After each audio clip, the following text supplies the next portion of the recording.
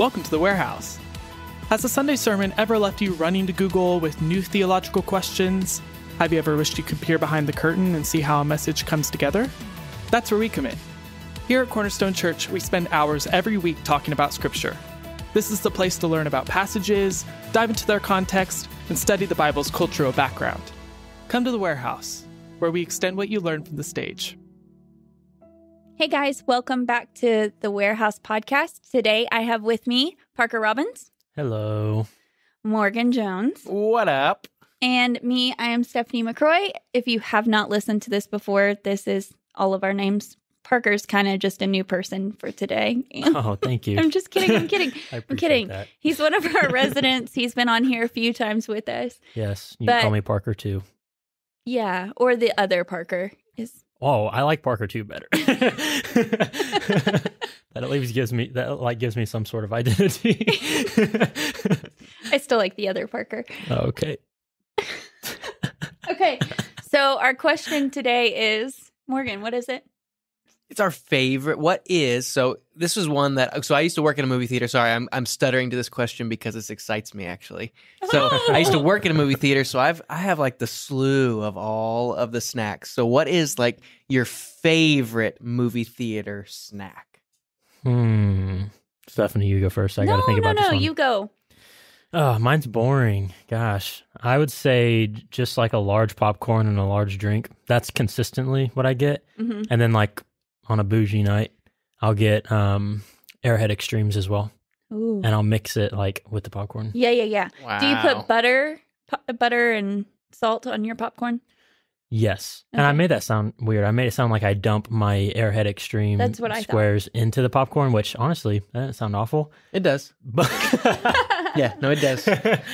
but I like I eat a piece of popcorn, and then I eat a Airhead Extreme, and then I take a drink of Dr Pepper. Oh, Yeah, it's you have a system. It's extremely unhealthy, and I Okay. feel awful by the time the movie's done. But like I don't know, that's just what I've always done. So How do you guys feel about the new like Coke machines? I mean, they're not new; they've been there for like ten years now, but they're new to me. Yeah, they stink. I hate them. Yeah, they're not good. why do you No. guys hate them? They're not as good as they used to be. It's just not as carbonated. Yeah, yeah, really. yeah, there's the something flavors missing. off because I don't know. It's- Really? yeah, Something's missing. I miss like the the real soda syrup. yeah, Mm. hmm Yeah, I'd agree. I didn't realize they were different. oh, so Oh. different. Dude. heck? You're missing Come it, on. Parker. Yeah. Come on, get it together. Dang.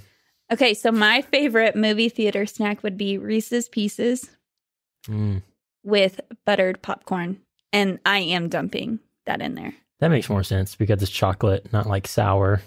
I mean, I Yeah. am Go not go home. clicking with why this makes sense, but that's okay. if people like that, that's that's good for you. sweet and Yeah. salty. Yeah. I guess. Think about like th- how they have popcorn that like they put chocolate on it. Yeah, know? I've heard of that too. I still don't get it. Just because you can does not mean you should. I disagree. Okay. That's fine. Agree to disagree.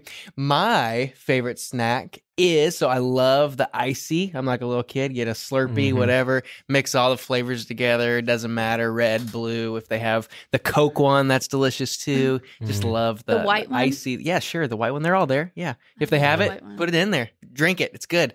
Um, and I also was always a really big fan of uh, hot pretzel with nacho cheese. Mm. Mm, that was so good. But they started changing it at the movie theater in Mount Vernon. It used to be like a real pretzel that they would actually butter and salt in front of you.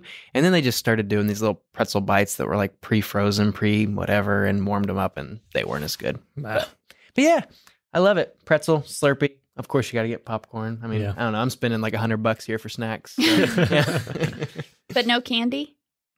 uh, I don't like candy at the movie theater as much. No, I'm more of a savory guy at the movie theater. They theater. do have those cookie dough bites.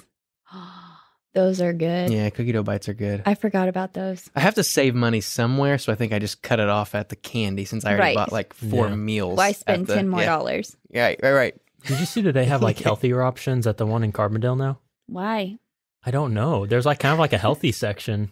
It's That's kind weird. of What's in it? yeah. Broccoli, carrots with some ranch dipping. They got like the cheese wisps. You know what I'm talking about? The little The crunchy wisps. wisps. wisps. They ha- JC's over there going. yeah, I know. They ha- they're like the the baked pieces of just like little wafers of cheese. Yeah. They're delightful. Hmm. I love Oh, 'em. do you pay for those at the movie theater? I've done it like a couple of times, but Wow. you can just get them at like Walmart or Okay. something and like Yeah. eat them at home. Yeah, that seems like a cheaper, option. yeah, yeah. All right. Mm, how are we going to bring this together with Oh, there is no connection. You just have to jump in. Are you sure? I Yeah. think we could be like You could try. It would be very forced. Mm. hmm, guarding ourselves from spending too much money at the movies. We don't I don't know. I don't I don't have it. Okay, so we are on week 4 of guard. Um we're going through Mark 2 23 through 28. Um this week actually Nathan will be doing a teaching which will be great and that's why he's not joining us on the podcast Mhm. today. So last oh well last time you were with us Parker Morgan was out because he was teaching. Yes. Nice. I missed him. You're just Mr. Replacement. yeah, I guess. Hey, it's okay. I used to Yeah. be mister Mhm. Replacement. You were. Aw. Yeah, so maybe eventually you'll move up. Oh, Probably not, maybe. Yeah. Ooh, I thought of a good transition. okay, go for yes. Because going to the theater sometimes brings you rest. it. Oh, look at you. That's why we thought of What this are we question. talking about That's today? lie, But we're talking about Sabbath. Hey, there Yeah. it is. I love it. Good Mhm. job. Yeah. All right. So, what is your big idea, Morgan? Mine is very simple. It's God wants us to rest in Him. Hmm. I didn't have one, so I just stole Jesus's from this text. The You Sabbath stole- was made for man, not man for the Sabbath. I'm like, wait, I got it now. um, and then mine was uh, God created Sabbath to benefit humanity, not to dominate humanity. Nice. Thanks, guys. All right, context. I think you're going to knock context out. Okay. hmm I got Alright. a little bit, but you had the bulk of it. Yep. And I'll just hop add to yours. okay, sounds good. So, among the four gospels, Mark was the most neglected by the early church. So, although all four gospels are technically anonymous, early church tradition attributes the second gospel uh, to John Mark, likely due to his close association with Barnabas. We see that in Colossians 4:10 and um, his mother Mary, a prominent figure in the Jerusalem church, Acts 12:12. And this attribution is likely accurate as it it's im- improbable that the church would invent a tradition where rel- this would be like obscure for them to even think it would be him Mhm. um, because there could they could have picked somebody else that would have been a better Yeah, which makes a lot of sense. Like they they wouldn't if they wanted this to be a story that everyone believed Mhm. and they were you know they were making it up, they would have picked somebody that would have been way more prominent than this guy who is pretty much not a nobody but close to a nobody. right right Yeah. right Yep. um, it is by far the shortest of the four gospels 90% of its stories are found in either matthew or luke augustine considered mark to be a mere abbreviation of matthew and luke and also mark's gospel differs from its counterparts with less like polished and it lacks an elegance where luke um, and matthew are more thematic and um, mark is known for like the, its problem passages Mhm. so where So ahead you're saying that like Mark is a is like a shortened version of Luke and Matthew? yes Gotcha. um and so most scholars say that key sources came from mark's gospel Mhm. and matthew and luke used mark's gospel to help yeah, like- flesh it out more and Yeah. all of that. So we're saying that Mark's came first. hmm Gotcha. Sweet. And then, um, so his gospel is also structured around two main themes the identity of Jesus as Messiah and Son of God in the first half of the book. So we see that Mark 1 through 830. And then we see the mission of Jesus in the second half, Mark 831 through 16:8. Yeah. Um, something I said yesterday. Um, whenever I heard people say that Mark was heavenly, hev- heavenly, was heavily influenced by Peter, I never like got an answer that I was like satisfied with. So I kind of dove into that a little bit. I really liked Um, how you did this too, by the way. It Huh. was really like good for me yesterday to Yeah. hear all the things. Well, uh, like I said uh, last week, I got I get a lot of my information from the ESV Study Bible, which is a great resource. I really highly recommend it. Um, And there's two evidences towards uh, Peter's like basically influence in this. Um, a lot of it's actually evident just from Papias, bishop of Hierapolis, which was uh, preserved by Eusebius of Caesarea, who was a like a one of the early church fathers, just affirming that like Peter Peter was the one that was like kind of in charge of this, and how John Mark was just kind of his scribe. Mm-hmm. Um, and Papias was alive around 120, so he was he was around like right around that time, you Mhm. know, or right after they would have been, you know, probably putting this into some sort of like um, finished work or something. Um, and then there's just the practical uh, aspects of uh, of Mark. So there is actually very similar structure um, in Peter's Caesarea speech in Acts 10, 34 through 43, and the Gospel of Mark. So they're very similar Mm-hmm. in structure. So there's that. There's also the fact that um, Mark's Gospel is uh, very detailed when talking about scenes with Peter. Mm-hmm. And then also it talks noticeably about the weakness of Peter and the other disciples, and it it actually goes out of its way to kind of like omit praiseworthy scenes of Peter um, that Luke and Matthew reference quite a bit. So it's almost like he didn't want to like bring too much praise to himself. Mm-hmm. So, but then Luke and Matthew, they they were more willing to like add those sections because, you know, if you were writing something about Jesus, you don't want to bring yourself praise, you know, Mm-hmm. and we see that character in Peter a lot. So, I thought So, that was really cool that you brought that part up Yes. um, yesterday. Just the idea that I was thinking about if I were writing a, a story and I was involved in it, that I would be less apt to put like this. Like I wouldn't want to talk myself up as much. And that's Mhm. kind of what you see in this is, man, the bad stuff's getting drawn out of it, which is what we tend to do as humans. A lot of time when we reflect, we're like, oh, I messed up here, I messed up here, or I wasn't perfect in this situation. Mhm. We don't tend to look at the positive, so it's like a very human thing. That's Yeah. Mm-hmm. yeah, so I loved that. And I think adding on to that a little bit, and I just thought this was super cool, was that Mark's like Mark being so close to Peter. Um, it just it's fun to think of. This isn't necessarily true, Mhm. but you know, there is some extra biblical stuff that pointed to Peter intending to put down all of his experiences and his memories of Christ at some point. Mhm. Um, and being so closely associated with Mark, he probably passed all these things down to him. So in theory, this is kind of like a, a Peter's gospel, um, which is is just kind of cool to think of. Like it is Yeah. Mark's, but at the same time, a lot of this stuff came from Peter, since Mark wasn't the eyewitness of all of it, and he was Mhm. getting it from other people, and probably a lot of it from Peter. yeah, Yeah.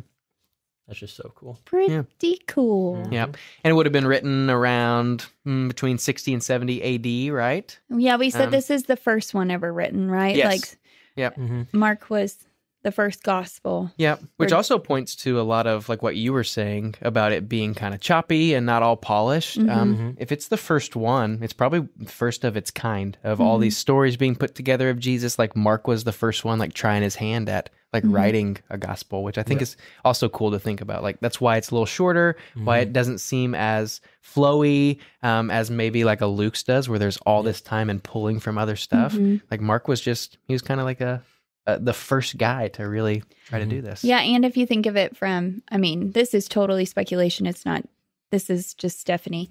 But if they did have, um, like Luke was using Mark's as a referencing point and knowing that Luke was Mhm. actually like a huge researcher Mm-hmm. and he sees Mark's stories and he's like, hey, actually, I want to go find out more information Yeah. on this, Mhm. that this happened and using that as a touching point. Right.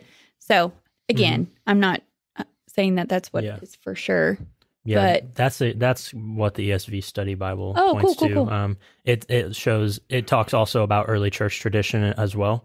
Um, talking about how it, Peter was like writing it in Rome and all of that, um, and it was written before Luke's and Matthew's Gospels. So, um, so that's kind of just with the context of Luke and Matthew. Like Mhm. it all it all just seems like it points to they were they were tr- getting stuff from Mark's Gospel. Mhm. So. Yeah. So, more immediate context. Um, there's a key word throughout the first half of Mark's gospel, and it's authority. So, everything Jesus does is with authority. We see that in this text um, that we're getting ready to dive into. Mm. And this is also the fourth of the five controversies that Jesus had with the religious leaders. The first one is whenever his claim to be God and forgive sins, um, and then the him to be associated with sinners, and then criticized him for not adhering to the fasting traditions. And now this one, they're upset because of the Sabbath. Um, so we see that in this story, and then also in the beginning of Mark three one through six. Yeah. with the healing of the paralytic man, which in that chapter is whenever they the Pharisees are like, okay, now we've got to figure out how to get rid of this guy Mhm. by the end of that verse. Right. Yeah, and one of the things that I think is fairly important with this is maybe you don't know exactly what a Pharisee is, like what the like what they really did. So Pharisees would have been these really popular Jewish leaders who would have been connected to a local synagogue. Um, people would have looked to them for teaching, and Mhm. they would have been known as people who knew the Mosaic law in inside and out, like the back of their hand. Um, Mhm. Could recite it, would would have read everything, you know, a hundred times over. I mean, like this was their jam. Like they knew what the what their Bible said. Mhm. Um, and one of the one of the things that I think is interesting about this is through those oppositions that Stephanie was just talking about, is all of them have to do with opposition to these Pharisees, like Jesus and his disciples and the Pharisees, and the way that they viewed his that he was acting as rabbi, as teacher in the wrong way. Mhm. Um, so yeah, it's just interesting to see that these are the people who um, they would have known everything. They would have been super smart, Mhm. super educated, and like they're looking at the way Jesus is doing it, and they're and what we know about Jesus, but they're looking at him and they're like, "What in the world? This dude is not doing it the right way. This Mhm. goes against everything that we um, have been teaching." Um, and also, like they had a, a really like they had a knack for creating these extra traditions.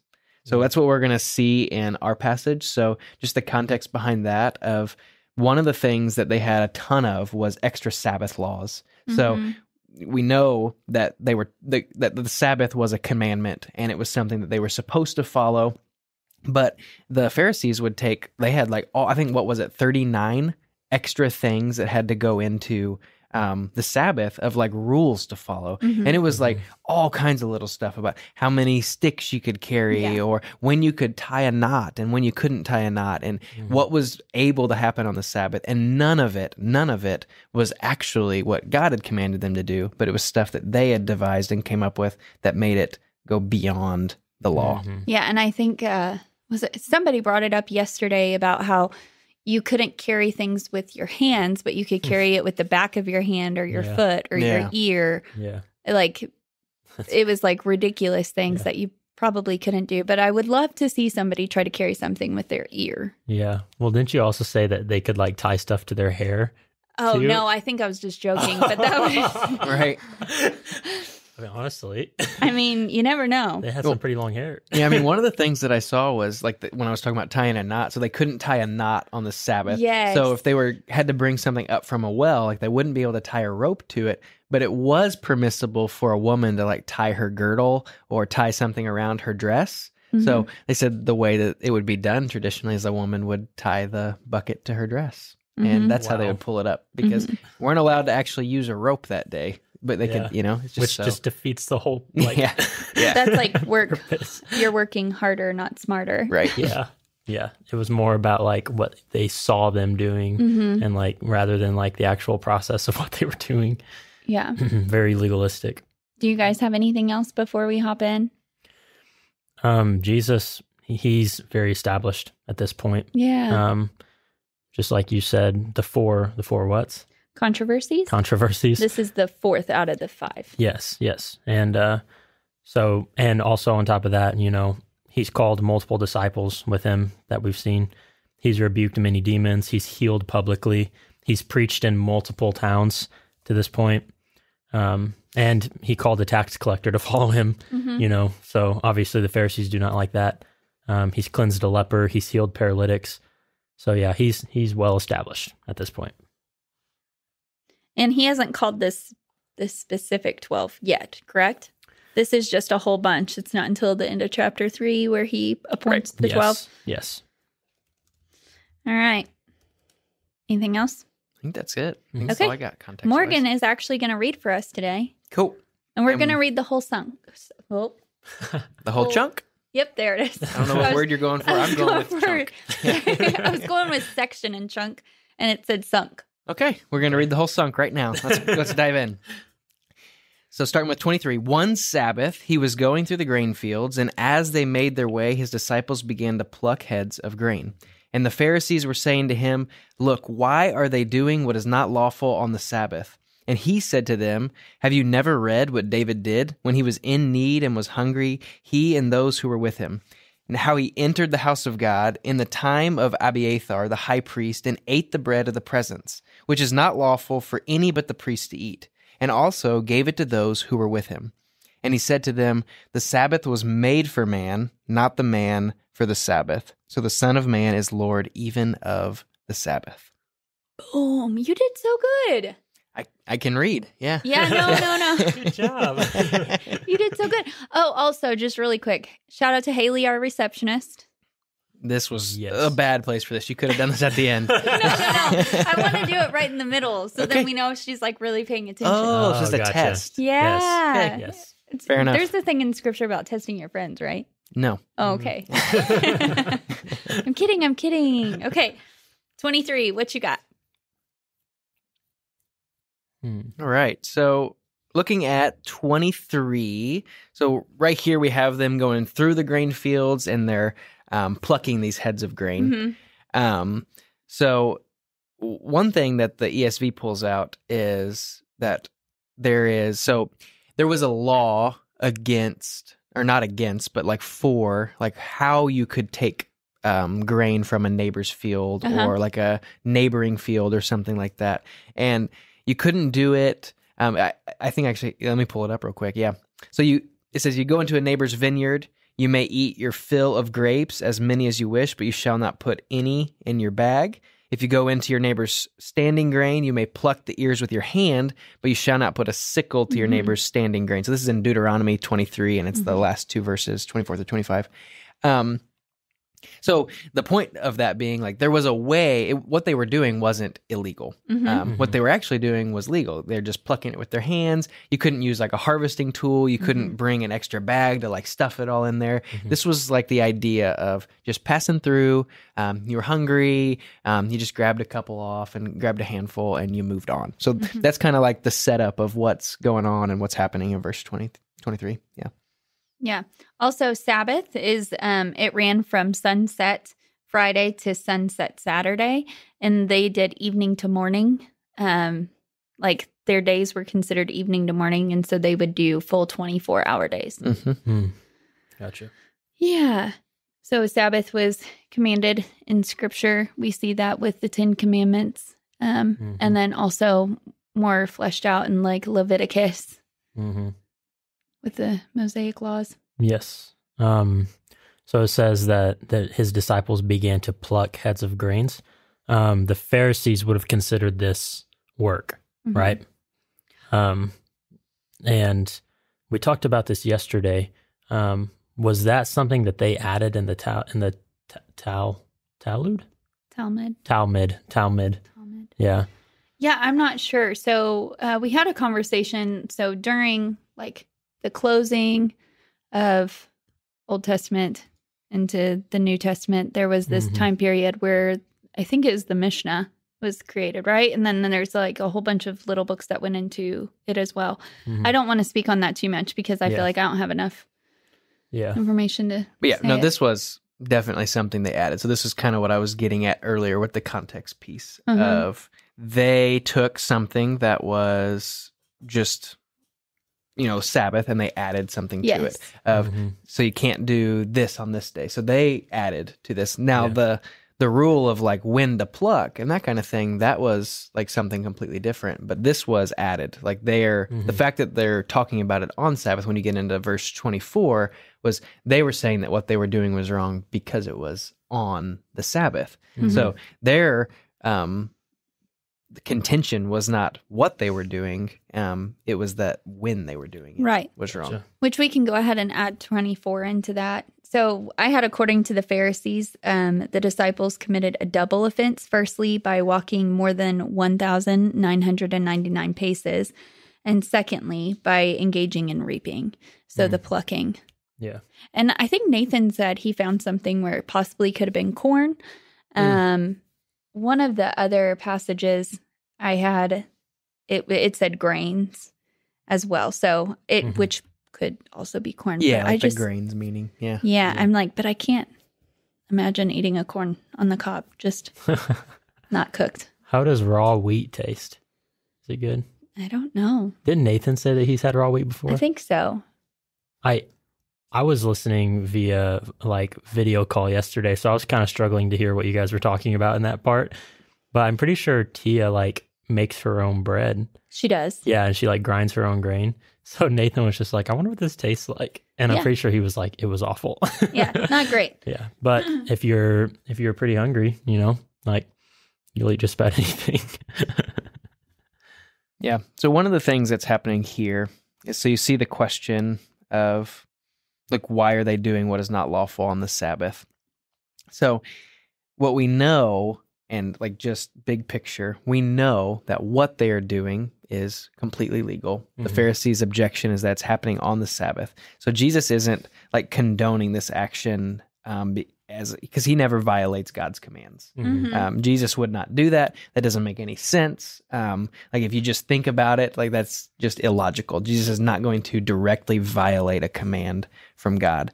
Um, but he will, and what we see oftentimes is who will break man's like legalistic additions to Mhm. God's law, Yeah. um, which is something that you see in all of those um, those those five things that Stephanie was talking about. Like this is most of it that they're upset about is the additions that they've added onto it, and Mhm. Jesus is like, hey, that's not what God said. This is Mhm. not the heart of it. This was not the actual law, so we don't have to follow that. Mm-hmm. Yes. You guys have anything else for 24? Nope. All right, let's add verses 25 and 26 together. So in verse 25, we have where he says, Have you never read? So basically, Jesus is, I mean, I'm going to say like calling him an idiot. Like Mm. these people who are supposed to be super smart know all of the word of God. Um, and he's like, Okay, have you not read the story of David? Like when he was in need and he was hungry, and he and those who were with him they entered into the house of god and ate the bread of the presence which that's a big no-no. Like that the bread of presence was only lawful to, for the priest to eat. It wasn't lawful for anybody else to eat. Um, and also david lied at that time to get that um, Mhm. to get the bread Yeah. to eat but there so you found was it you who said well weren't the disciples like really hungry walking through the grain fields Yeah, well, I said that whenever I like usually like just read that, I just assumed they were really Mhm. hungry if they were going to eat on the Sabbath. Um, and I'm pretty sure one of the other synonymous gospels, Matthew, yes right, says that they were hungry. yes Yeah, so they were they were in need, like they were hungry. mm-hmm Um, if if wheat doesn't taste that good raw, they must have been, you know. yeah. Um it seems like but but yeah um and that's kind of that was kind of my own personal tension that i was uh kind of thinking through yesterday. Um whenever jesus was talking about uh david and what he did was he saying that what david did was like right that he did and that it wasn't sinful right so basically like in the case of need actions are allowed on sabbath that otherwise might not be permitted um so that's why the that's why he allowed the the disciples to eat grain. Um, and I kind of want to talk about that a little bit because that was a good conversation hmm that we had. Um, how would you say we landed on that? Yeah, I don't know. I was very confused during that whole Yeah. section. yeah. like, I think everybody in that room could tell. I was like, wait, hold on, what? Yeah. And so I don't want to misspeak for anybody, but Mhm. um, for me, I kind of took it in as that way is like, okay, well, the need of the person means means more than the breaking of the law. But there was actually no breaking of law for the disciples, correct? right. Mhm. Yes. So, but for David, that would have been breaking a command of the Lord because the Mosaic law would have already been in place. We see that in Exodus and then even more in Leviticus um, of talking about this, of what they are allowed to do and not do within the temple. So I'm like, okay, so then why is he bringing up this David story? Like, Mhm. is it to say, like, hey, David was allowed to get away with this? Um, why are you guys not making a big deal about David? Mhm. But yet you guys are making a big deal about this. Mhm. And that comes from because uh, thinking that like the Jewish people at the time, like they cleaned David's temple, they still kind of like not worshipped him, but Mm. his tomb. His tomb. Oh Yeah. yes, I said Yeah, temple. yeah. Thank you. Um, but like washed his tomb and made sure it was sparkling clean and all of that. So they still looked at David as like this, like like the golden era Uh-huh. of, of Israel, you know. And then obviously there's areas in David's story where he messed up, and Scripture doesn't hide that. You know, when Nathan called him out for um, the prophet Nathan called him out for um, thank yeah you. yeah not not Pastor Nathan. I'm like, wait, what did he do? when the prophet Nathan called David out for what he did with Bathsheba. So obviously the Israelites knew like this guy wasn't perfect, but they still like they still really like talk about him as if he was like the greatest to ever lived. It Mhm. almost seems like so it's like um, Jesus is almost like saying, you know, you let that pass, right? And but you're you're arguing about this tiny little thing Mhm. right here. Like he takes it a step further by going back to David, who actually did something that actually like possibly broke the law. Mhm. I don't I don't remember. Did we actually say that he broke Yes. the law? he- we did. I think so because we see in Exodus is whenever God gives all of the laws for Yeah. like who is supposed to be doing what within the Mhm. temple, yeah. and then we see it again within Levitical law. yeah. Gotcha. So the the bread of the presence was like uh, it was 12 loaves of unleavened bread that Mhm. was given to represent like the 12 tribes of Israel yes. and only the priests were allowed to eat that bread. yeah. So yeah, in this argument, like Jesus takes it a step further by saying, like, you guys you guys don't talk about this, you know, but you're making a big deal about the fact that my disciples are picking grain on the Sabbath. Mhm. Like which wasn't even breaking the law in the first place. yeah, I'm like Mhm. what do you have Morgan cuz Well, I think like the big debate, not debate, but Yeah. like the tension yesterday was is so why like the question you asked, like why is David even being brought up here? Um, because what his disciples are doing is not against the law. Um, what David did was it did break the law. So Uh-huh. why bring that up? He's comparing one that that was against the law and and to to a situation now that isn't. Um, so there's there's like two things that are possible, and I don't even know necessarily which one I fully land on. Mhm. Um, I don't even know if it's super important because Mhm. I think maybe both of them are there regardless. Mhm. But like the one is so is Jesus condoning what David did and saying that was okay because his people needed to eat and God had mercy on him in this in this um, situation because God cares about the needs of his people and Mhm. sometimes it's okay to to break a command if it means the betterment of the people and taking care of like your your needs Mhm. or is Jesus not saying that what David did was okay? Because he actually calls it out and says, hey, which is not lawful. Like he says Mhm. this was not lawful that he did.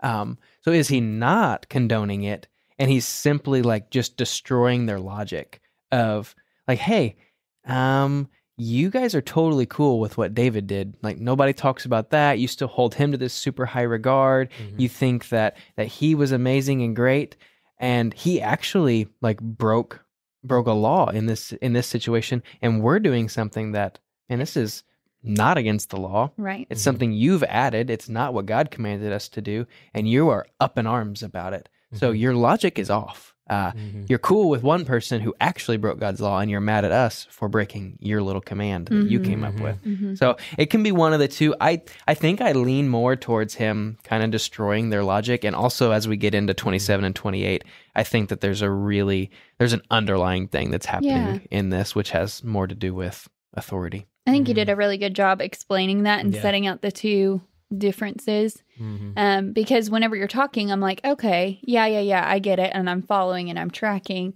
and I don't think that. i'm like, ugh. I'm like, is it okay to break a command? Like, would have been okay, like, and then I'm like, for the need of the human, but then that's like stretching. I don't know. I'm Yeah, like, I it's, it's hard for It's me dicey. to to Yeah. sit in a world or sit in a place where I'm like, yeah, Jesus is cool with breaking God's command. Yeah. I Right. just I can't I can't bring Yeah. myself fully there. Mhm. right. No, Yeah. and I get that. Yeah. Mhm. Do you guys have anything else for 26 or 25, 26? Oh, go for it. Um, I was just gonna say that uh, it says in the time of Abijah, at, Abiathar? Abiathar. Abiathar? Yeah.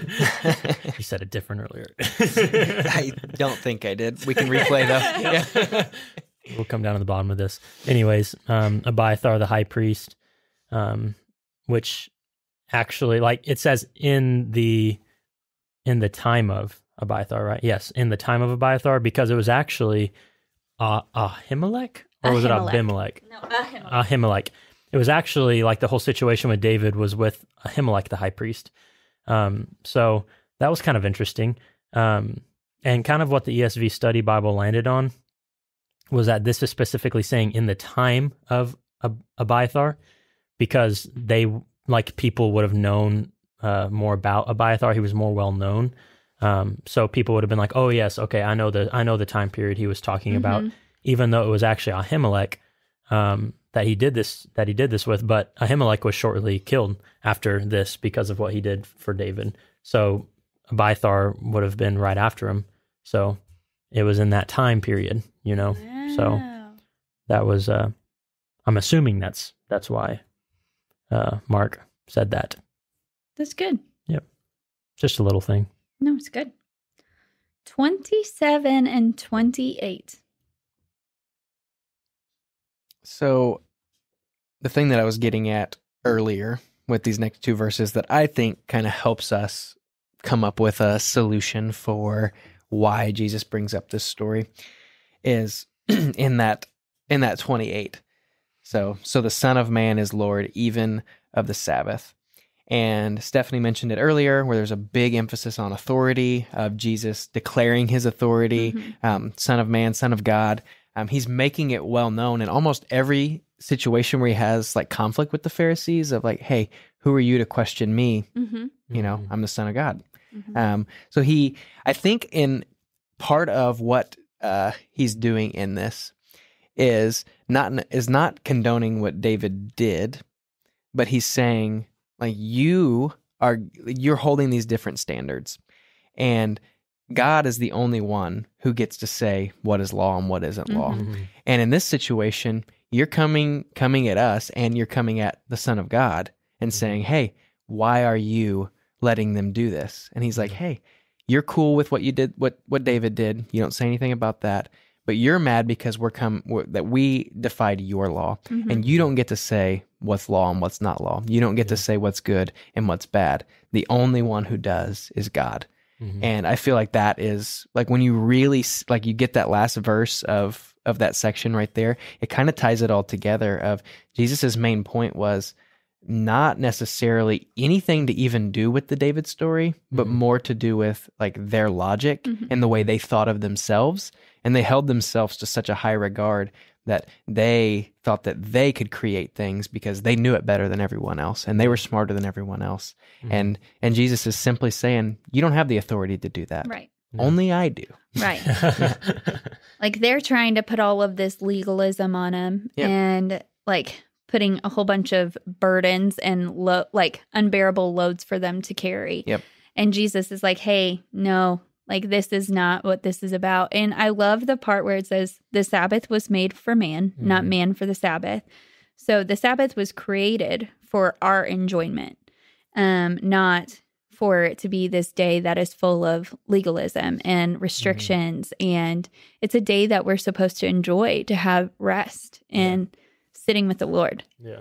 And like I had listened to a really good podcast a while back. I mean, it was a long time ago. It was, I always want to say her name wrong, but it's Jennie Allen. Um, and she had John Mark Comer on it. And he was talking about Sabbath and how his son, his Sabbath looks completely different than the rest of the families because he isn't like basically extroverted and he enjoys being around people. That is what fuels him and like makes him excited. Mhm. And so, where he wouldn't necessarily sit at home all day in the quiet and with lights off and all of that, he would actually be out and doing things Yeah. because it's what you find joy in the Lord. Like, Mhm. and I, I just thought that was really good because not everybody's Sabbath can look the same. Mhm. And there's nothing wrong with that. Yeah. Um, there was a good uh, kind of definition in the ESV study Bible. Jesus states that Sabbath is meant to be a gift for man for physical and spiritual refreshment. Mm-hmm. Um, and so I also think this is something that's really important is that like something I said yesterday that wasn't like completely correct was like, okay, well, as long as like for Sabbath, um, as long as you're doing something that like, oh gosh, I don't remember how I worded it, kind of like diminishing the seriousness of Sabbath Mhm. is kind of along the words as I was saying. And it's like God never does like diminish the seriousness of how important the Sabbath is. Like there's reasons why he had such strict like, you know, laws about keeping the Sabbath in the Old Testament because it's so necessary. Mhm. You know, like so I think it's really I think it's really awesome that like we serve a God that like basically has to like get through our thick skulls as humans like practice Sabbath. You Like you need this. This is for you Mhm. right it's not meant it's not meant to like you know like exhaust you this is meant to be a, something that you do to bring refreshment Mhm. like you need to do this and the, god was very serious about that in the old testament like you got to do this guys Yeah, Nathan brought it up. Like, how cool is our God? Like, day six, he so God creates the world, and Mhm. by day six, he creates man, and then by day seven, he has him rest. Like Yeah. his first day, and he's like, "Okay, you know what you're gonna do? You're gonna rest. Mhm. Like, you're gonna enjoy my creation." Mhm. yeah So, and then you know, we also do have where work was there before even the fall. So I just Mhm. like that's another thing. But anyhow. yeah it's almost like you can't you can't fully work until you have a day of rest almost Yeah. it seems like yeah, yeah I think that was a pretty cool thought yeah Mhm. i like that What else you got, Morgan? Um, I mean, yeah, the only other thing was just the importance of like what the purpose of Sabbath was, and it was supposed to be a blessing and a gift, Mhm. and the Pharisees turned it into the opposite of that. So Mhm. Sabbath meant to be for rest, meant to be a gift, and they created so many extra biblical laws around it, these extra religious practices around it, that they made the Sabbath a job. yeah Um, and I think that right there is like at the heart of of why Jesus is upset about Mhm. what they're doing. Mhm. Is Mhm. absolutely one, they don't have the authority to do it, and two, they completely destroyed the gift that Mhm. that God intended for them to be rest yeah and turned it into work. That's Yep. really good. yep Yeah. All right. Anything you guys want to add? What are you excited about? Mm. I mean, just like just like I said earlier, you know what what kind of God do we have that genuinely wants rest for us? You know, like you th- when you think about a God, you think about how like how can I make like minions that just follow me or that just do things for me that I want done, you know? And we serve a God that's like I love you so much that I want you to have a day where you just take a day off. Mm-hmm. You know, like like we serve we serve a God that genuinely wants us to find refreshment for our souls, Mm, right? And that refreshment's found in him, you know. so it's just like man, it's like if you need any evidence that God is that God's real, like that's that's what he wants for us. Hmm. That's what that's something he wants for us. It's like, gosh. it's good. hmm All right. That's all I have. That's all you got? That's all I got. I think you guys said everything that I'm Yeah, excited about. yeah, It's a good conversation. for sure. Mhm.